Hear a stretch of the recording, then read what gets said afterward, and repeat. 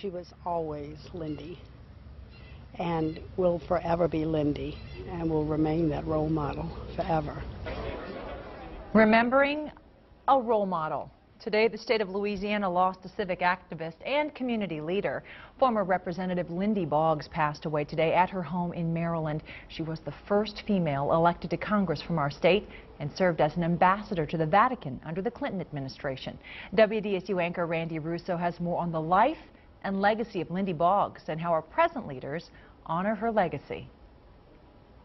A champion for women and civil rights. Former Representative Lindy Boggs was one to never back down from a challenge, pushing for equal pay, historic preservation, and racial justice. I think that uh, a new challenge is something that that will be met like the old challenges have been. And now the challenge for those she leaves behind, living without her southern charm and humility. She's been a personal friend and my role model. You know, she ranks up there with my mother and my mother-in-law and my grandmother and women who have set the bar. Council President Jackie Clarkson says she can't remember a time in her personal life without Lindy Boggs. Boggs was elected to Congress following a special election in 1973 to finish out her husband Hale's term in office after his plane disappeared over Alaska. As a congresswoman, she never forgot to represent the underserved, to break ceilings for women, and still represent everybody. I think what people really remember about her is her human touch and the fact that she understood the plight of everyday people and she worked to solve those problems. Representative Cedric Richmond is now working to solve a similar problem serving Boggs' old district.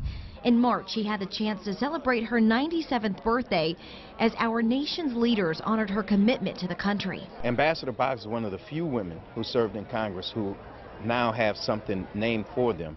And now, right in Statuary Hall, you have a room that's called the Lindy Boggs Room. And New Orleans, of course, holds many of her namesakes, like the Lindy Boggs building at Tulane, Lindy's Place, a haven for homeless women, and also the Lindy Boggs International Conference Center here at UNO. Lindy Boggs set the prototype, and we're under the obligation, in my opinion, to follow it because she was ours. And will forever be a staple of Louisiana history.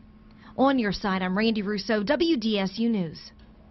Lindy Boggs was 97 years old. Her daughter and journalist Cokie Roberts says Boggs died of natural causes at her home in Chevy Chase, Maryland.